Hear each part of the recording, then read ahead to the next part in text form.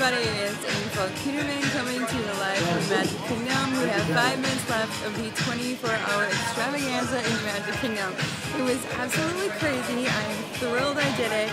I am so tired, you have no idea, but I wanted to document the last five minutes of the 24 hours in the Magic Kingdom. Our leap day was incredible. Um, I thank everybody who came to meet, everyone that I met this week or weekend. You know what? It feels like a weekend. It feels like a week.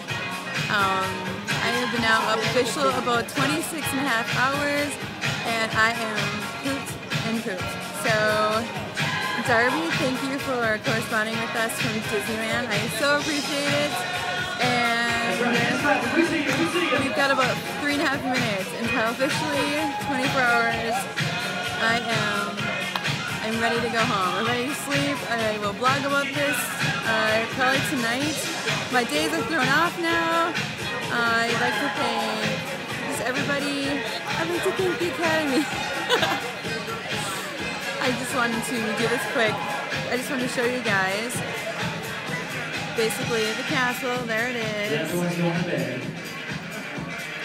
There There's a lot of people still here. There's Eric Golden. Otis is over there on his phone. There's Otis right there. And uh, yeah, I'm ready to go to bed. So we're to celebrate the last two minutes here. Thank you everybody who, uh, watched, who joined me on this crazy journey. And I hope all of you get to do it sometime. Peace, love, and I will talk to you guys soon. Night.